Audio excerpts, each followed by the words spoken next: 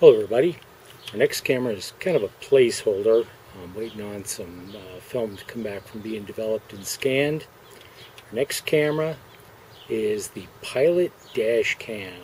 This is a model CL3022WK. It's from about 2016 according to the version 1.0 firmware and the date inside the PDF manual. Uh, the box says that it does 720p interpolated, uh, but the menu on the camera itself uh, also lists 1080p, but it still just records in 720p. They don't say what it's interpolated from, but I'm pretty sure that it's a VGA sensor, 640 by 480. It does stills in VGA, 1.3 meg, 2 meg, and 3 meg. And these are some of my test shots, and this is why I think it's interpolating from VGA, because the VGA is the clearest, and then as you go up in resolution, the files get bigger, but the pictures get worse.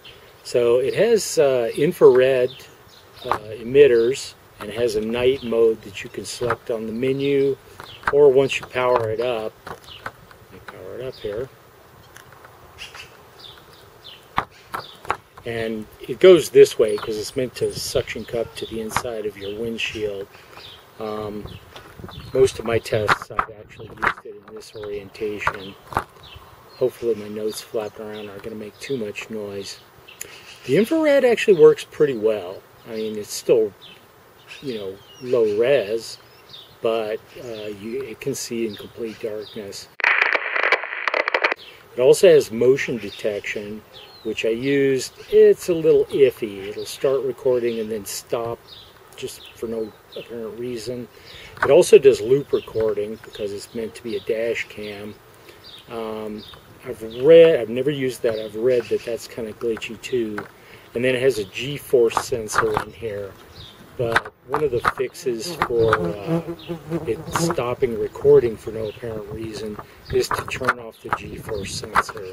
If you have one of these and it does stop recording, I found another YouTube video about that specific problem with this camera. Put a link down in the description. Um, it's a pretty complete kit. It has this suction cup mount. Uh, comes with a 4 gigabyte micro SD card. The manual, this shorty data cable. I'm running off of a battery bank right now because the internal battery is pretty feeble. It's really just meant to be enough to finish recording if you get in a wreck. Uh, it has uh, this very long, getting bugs on me again, uh, cable.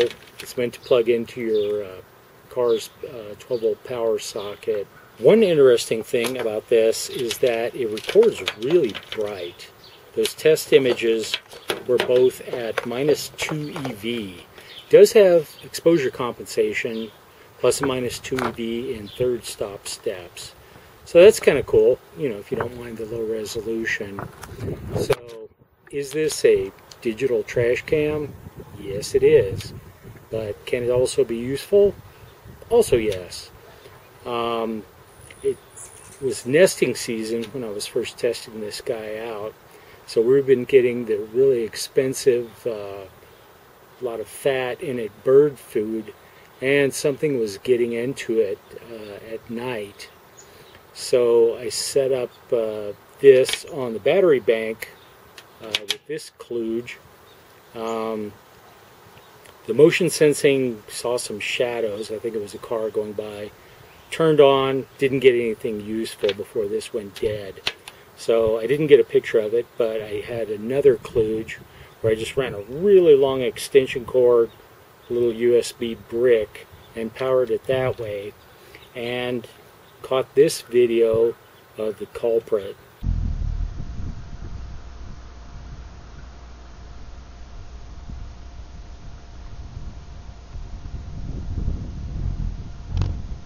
Because I had this thing mounted, you know, this way, I had to flip it in post, but that was pretty easy to do. I just popped it into iMovie to do that.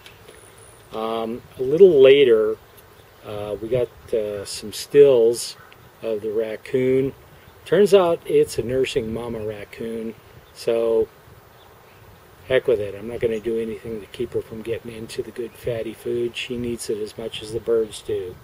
So anyway, this thing turned out to be useful for a $10 camera that my father-in-law picked up for me at uh, one of the big box stores.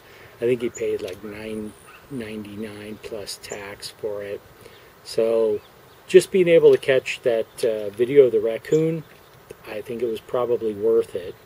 So um, I'm on to the next camera as soon as I uh, get my film back from processing, and I will see you then.